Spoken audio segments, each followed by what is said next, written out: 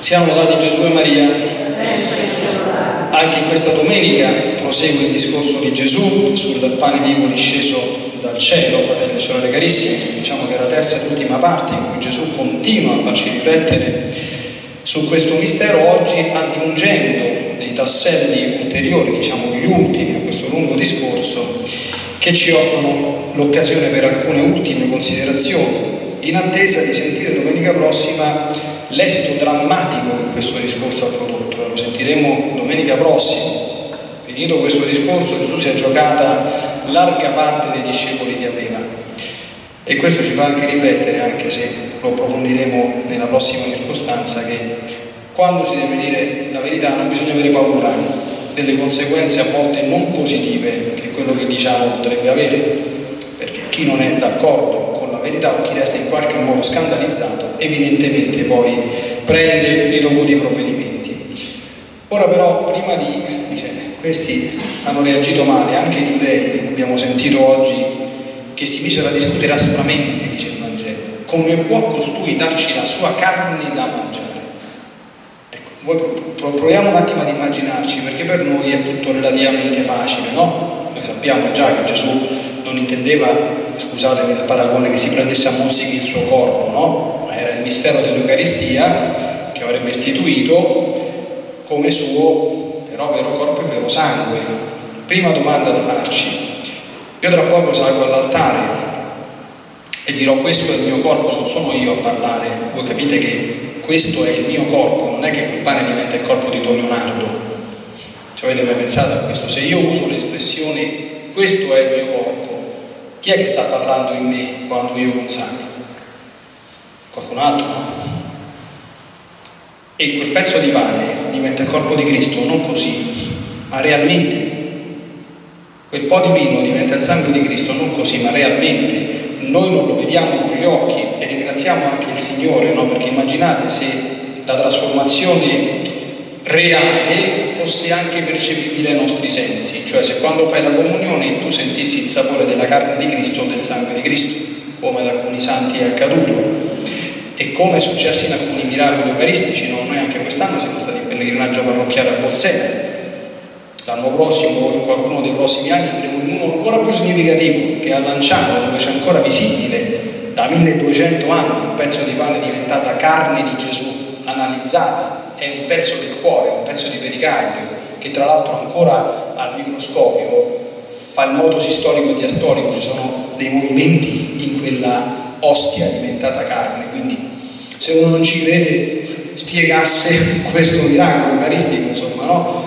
Ecco, però noi ci crediamo, numero uno, cerchiamo anche di comprendere perché lo scandalo che ebbero i giudei può essere lo scandalo nostro, tu ci credi veramente che sull'altare c'è Gesù Cristo? Io dico sempre, chi ci crede veramente a questo che succede e non va a messa o come vedremo subito, non si prepara bene e non usa bene la Santa Comunione, non ci sta tutto con, con le rotelle, perdonatemi, insomma, eh, capite?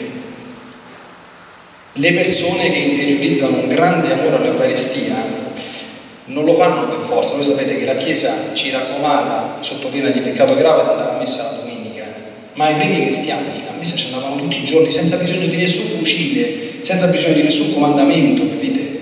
Perché erano talmente contenti, diceva io mangio tutti i giorni, sì, e la mia anima non sarebbe bene che mangiasse tutti i giorni, che c'è Gesù in persona che si dà cibo a me. E se c'è stava quello che mangiava la messa, io dicevo, ah, no, come faccio?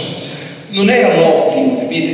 Perché quando una persona ci crede sul serio, io lo dico, ma non lo dico per, per cioè, io non ci potrei stare un senza messa, non è mai successo da quando sono prete che stessi un giorno senza, neanche quando avevo 40 di febbre, io ho sempre celebrato, ma non perché sono virtuoso, ma perché non ci posso stare, capite? È impossibile farne a meno, capite? Allora, questa prima domanda è una provocazione per noi, ma io ci credo sul serio. Poi Gesù dice alcune cose, alcune molto forti, dice guardate che se non mangiate la mia carne e non bevete il mio sangue, non avrete in voi la vita non è la vita biologica, perché la vita del nostro corpo, il nostro cuore batte anche senza che ci facciamo la comunione, capite? Ma è la vita interiore. Io ci credo veramente che nell'Eucaristia in Gesù c'è la soluzione al problema della depressione, dell'ansia, nell'angoscia, nell'insoddisfazione di tutte le cose, le sofferenze interiori che sono molto più gravi dell'esteriore che mi porto dietro, ci credo e Gesù lo dice. Se non mangiate la mia carne non bevete il mio sangue non avrete in voi la vita, ripeto, non la vita biologica, ma la vita con la V maiuscola. Avete visto le persone comuni, no? dicono, io adesso non posso dire dall'ampone, che dicono che brutta vita, a volte dicono anche che vita epitetando questa espressione con, dire, con attributi un pochino volgari, no? Diciamo soltanto che brutta vita. Oppure quando uno è felice dice che. Ecco, in questo senso, se non fai la comunione, la vita non ce l'hai. Non solo. Se non fai bene la comunione, non parteciperai alla risurrezione gloriosa nell'ultimo giorno. Chi mangia la mia carne e il mio sangue alla vita eterna e io lo risusciterò nell'ultimo giorno. Voi sapete che l'ultimo giorno, come diremo nel credo, c'è la risurrezione dei morti, ma ci sono due tipi di risurrezioni. C'è una risurrezione per la gloria e c'è una risurrezione per la condanna eterna, perché l'inferno purtroppo è eterno non solo per le anime, ma anche per i corpi che risusciteranno per stare nei tormenti per tutta l'eternità. Brutta cosa, insomma, oggi domenica non bisognerebbe parlare troppo di queste cose, però questa è una verità di fede. Ecco perché prima di morire la Chiesa dà l'ultima comunione che si chiama il viatico, perché tu ricevi quella comunione come pegno che risusciterai in Gesù per la gloria. Capite? Anche su questo noi ci crediamo? Punto interrogativo. Ultima cosa che Gesù dice, chi mangia di me vivrà per me. Solo chi mangia di me vivrà per me. Cioè, se tu fai bene la comunione, la tua vita sarà una vita spesa nell'amore a Gesù e nell'osservanza del Vangelo. Allora, e qui, ultimi tre minuti di omelia. Tu puoi dire che la tua vita oggi è spesa veramente per il Signore, che cerchi di osservare bene il Vangelo tutto, come diceva San Paolo, usi bene il tuo tempo, cioè, usate bene il tempo è l'uso più santo del tempo, quello che dedichiamo al Signore, non solo nella messa, nella nostra formazione personale, nell'ascolto della sua parola, nella preghiera. Vivi così? No, forse. Ma tu ti fai la comunione? Ah sì, tutte le domeniche. Se tu ti fai la comunione tutte le domeniche, Gesù dice chi mangia di me vivrà per me. Quindi sono due cose. O Gesù mente, non è vero, ci faccio la comunione, ma d'accordo? Non è che proprio vivo sempre proprio bene il Vangelo, al 100%, eh? Chi di noi può mettersi davanti al Vangelo e dire io ci sto al 100%. Allora che succede? Non funziona la comunione o non funziona qualche altra cosa? Capite? E qui ultime riflessioni. Voi sapete che la comunione funziona ad alcune condizioni però. Ci sono due condizioni per cui funziona la Santa Comunione. La prima è che devo stare in grazia di Dio. Se io faccio la comunione senza stare in grazia di Dio, e attenzione, lo stare in grazia di Dio non dipende dal fatto che io mi sento a posto, dipende dal fatto che io sono a posto con i dieci comandamenti, dal primo al decimo, tutti e dieci, come la Chiesa insegna nel catechismo della Chiesa cattolica, comprese delle cose che nella coscienza comune a volte anche di alcuni fedeli non sono reputate peccato, ma se io mi faccio la comunione e sto in uno stato di disordine grave nei confronti di qualcuno di, di quei comandamenti, non solo che quella comunione non mi fa niente, quindi io non vivrò per Gesù, ma farò un peccato gravissimo ad accostarmi alla comunione in quel modo, perché la comunione sacramentale, come insegnavano i padri, è vita per chi sta in grazia, è veleno per chi si osa accostarsi senza essere in grazia di Dio. Questa è la prima cosa. Ma perché la comunione produca tutti quanti i frutti necessari? Non basta neanche questo. La comunione bisogna farla bene. Farla bene significa prepararsi alla Santa Comunione. Non andare così. Prepararsi interiormente con la preghiera. Io per esempio ho sempre insegnato ai miei fedeli la preparazione migliore alla Santa Comunione è ascoltare bene la Santa Messa. Ma la Santa Messa si ascolta dall'inizio si, si ascolta dall'inizio alla fine.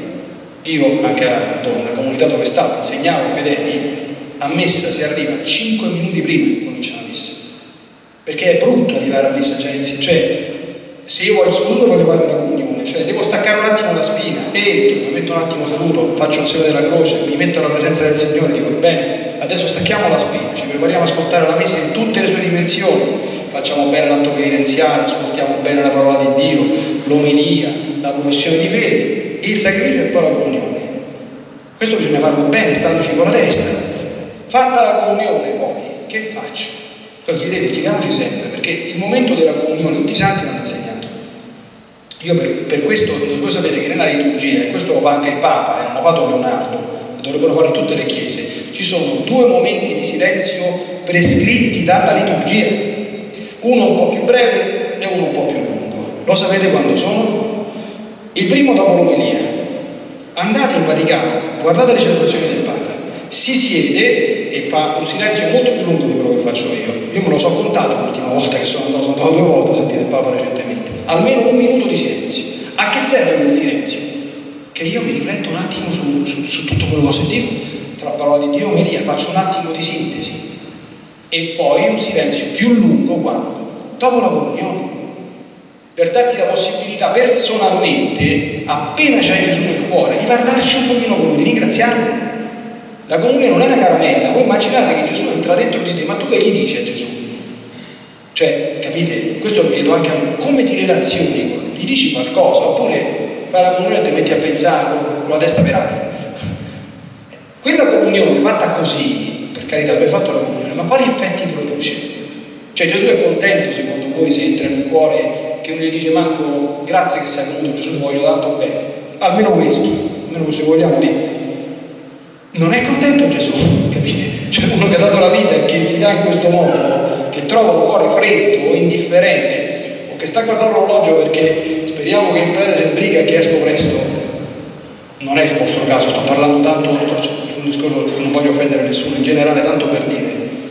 Quale effetto produce quella comunione? Allora, se le comunioni non producono questi effetti in noi, cosa significa?